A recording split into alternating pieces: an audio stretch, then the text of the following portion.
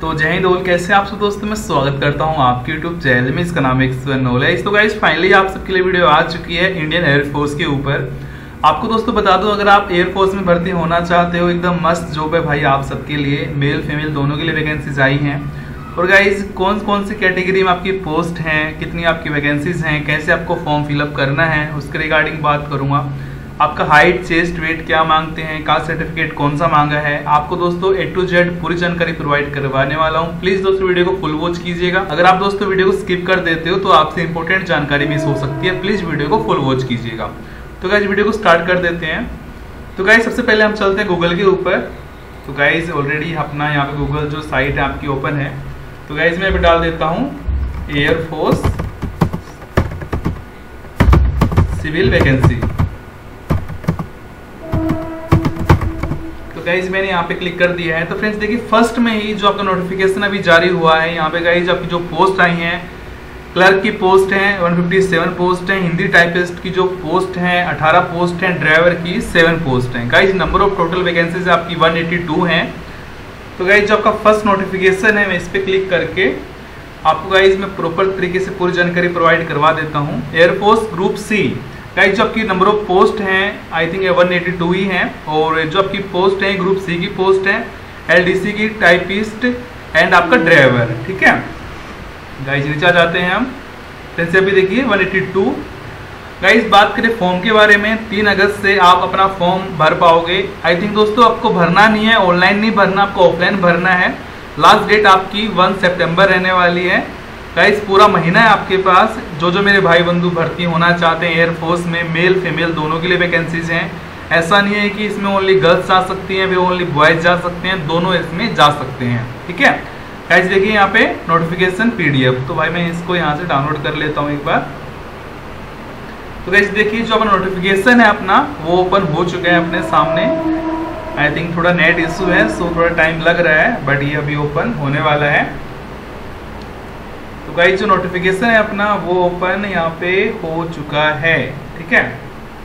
तो गाइस हम थोड़ा नीचे आ जाते हैं यहाँ पे, एक सेकेंड तो गाइस देखिए यहाँ पे, भारतीय वायुसेना air force direct requirement of group C civilian post जो गाइज़ ये पोस्ट है, आपकी सिविल वैकेंसीज रहेंगी, ध्यान दीजिएगा।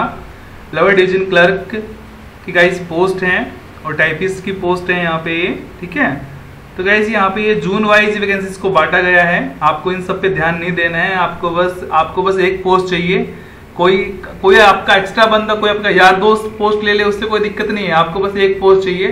कोई जो आपकी 181 पोस्ट बच गई भाई, कोई भी ले, लेकिन हमें बस एक पोस्ट चाहिए, ठीक है? आपको दोस्तों, ये जो फॉर्म है, कहाँ भेजना है? Postal address the presiding officer civilian requirement board air force record office Subroto park new Delhi guys जो वैकेंसीज है न्यू दिल्ली की, आपकी पोस्टिंग भी न्यू दिल्ली हो सकती है, लेकिन ऐसा कोई सीन नहीं है। आपकी ऑल ओवर इंडिया आपको कहीं भी पोस्टेड किया जा सकता है। लेवल टू की गाइज़ यहाँ पे देखिए वैकेंसीज है यहाँ पे, ठीक है?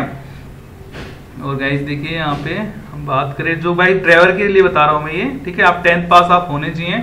और एलडीसी में आप, अगर आप प्लस टू पास हो, साथ में आपकी टाइपिंग स्पीड अगर अच्छी है तो आप क्लर्क में भी जा सकते हो, लेकिन आपकी जो टाइपिंग स्पीड है 35 वर्ड पर मिनट होने चाहिए इंग्लिश में और 30 वर्ड पर मिनट होने चाहिए हिंदी में। अब ऐसा नहीं है कि आपको दोनों टाइपिंग आनी चाहिए, दोनों में से आपको एक वहाँ पे करके दिखानी है तो ये गाइज़ आप यहाँ पे भर्ती हो सकते हो, ओके? तो फ्रेंड्स यहाँ पे देखिए लेवल टू की यहाँ पे जॉब है क्लर्क की आपकी 35 वर्ड पर मिनट आपके यहाँ पे इंग्लिश में 30 वर्ड पर मिनट आपकी हिंदी में, जो आपको मैं ऑलरेडी बता चुका हूँ प्लस टू पास आप होने चाहिए। तभी आप इस फॉर्म को फिलअप करने के लिए एलिजिबल हो। और गाइज़ जी आपका फॉर्म है, आपको ये फॉर्म भर के आपको भेज देना है, जो मैंने आपको ऑलरेडी एड्रेस बताया है, उसी के एड्रेस पे, ठीक है? तो गाइज़ आपका एडमिट कार्ड आएगा। अगर आपके नंबर अच्छे हैं तो भाई आप फॉर्म अप्लाई कीजिएगा। आपके कितने मार्क्स बन रहे हैं प्लस टू क्लास में तो आप प्लीज़ मुझे बताइएगा। तो भाई मैं आपको बताऊँगा कि आपका एडमिट कार्ड आ सकता है, फिर एडमिट कार्ड नहीं आ सकता, क्योंकि एडमिट कार्ड इसमें सबके नहीं आते हैं। और गैस देखिए यहाँ पे आपको इसमें लगता छूट दी जाती है। एस सी को पाँच पाँच साल की छूट है ओबीसी को तीन साल की छूट मिलती है। और गाइज़ वैकेंसीज बहुत ही मस्त है भाई। ऐसी वैकेंसीज बार बार नहीं आती है, मैं बता रहा हूँ आपको। ऐसी वैकेंसीज बार बार नहीं आती है, ठीक है?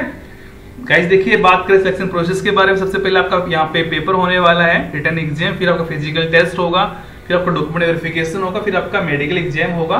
फिर गाइज़ इसमें आप फाइनली सिलेक्शन ले लोगे। मेडिकल भाई नॉर्मल होता है, इसमें मेडिकल कोई हार्ड नहीं होता है। मेडिकल आपको, आपके सिविल मेडिकल में करवाना होता है। फ़िज़िकल टेस्ट गाइज़ किनका होने वाला है यहाँ पे? जो सीएमडी ड्राइवर है, उनका होने वाला है यहाँ पे, जो आपका फ़िज़िकल टेस्ट मतलब आपसे भाई गाड़ी चलवा के देखेंगे वहाँ पे। और गाइज़ जो आपकी अदर पोस्ट है क्लर्क की, आपका भाई फ़िज़िकल टेस्ट की जगह यहाँ पे आपका टाइपिंग टेस्ट होने वाला है रिटर्न के बाद। तो गाइज़ आपको तैयारी प्रॉपर तरीके से कर लेनी है अपनी, ताकि आप भर्ती हो सको। तो भाई भर्ती आपकी आ चुकी है। गाइस ध्यान दीजिएगा, ऐसी वैकेंसी बार बार नहीं आती हैं। आपको फॉर्म पक्का फिलअप करना है।